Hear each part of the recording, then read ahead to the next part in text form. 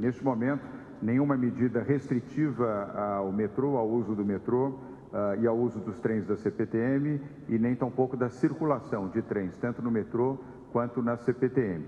Lembrando que o transporte de pneus, ou seja, de ônibus, é de responsabilidade dos municípios. O município, uh, a capital de São Paulo, e nós respeitaremos as decisões que forem adotadas pelo prefeito Bruno Covas e também das cidades da região metropolitana uh, do estado de São Paulo. No âmbito do governo, não teremos restrição nem de acesso, nem restrições uh, na diminuição da oferta do transporte. Haverá sim, isso já começou desde a semana passada, um trabalho de limpeza e higienização de todos os vagões dos trens do metrô, dos trens da CPTM, uh, ah, o sistema de transporte ferroviário aqui da capital de São Paulo, assim como dos banheiros e das áreas comuns uh, de uso das pessoas que se dirigem às estações e aos trens. Isso foi triplicado, o sistema de limpeza, essa foi a orientação dada por mim, como governador de São Paulo, ao secretário de Transportes Metropolitanos, Alexandre Baldi. Uh,